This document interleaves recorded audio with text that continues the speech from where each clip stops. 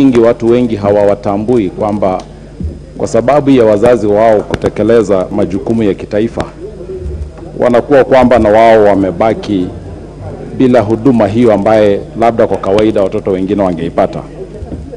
Nitoe rambirambi Mheshimiwa Spika, vile vile kwa wananchi wa Jamhuri ya Muungano ya Tanzania, kwa sababu imebainika hapa kwamba Mheshimiwa uh, Stanley Githunguri alizaliwa pale Tan- Tanzania na baadaye akarudi nyumbani kuweza kuyafanya makuu ambayo tumeyasikia hapa.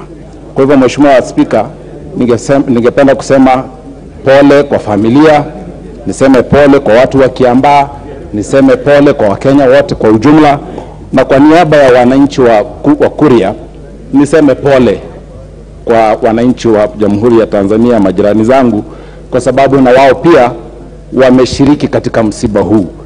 Pole sana Mheshimiwa Spika, na wacha Mungu akaweze kutusaidia sisi wote, kwa sababu uongozi unaambatana na kujitolea. Amejitolea huyu bwana, ametutangulia.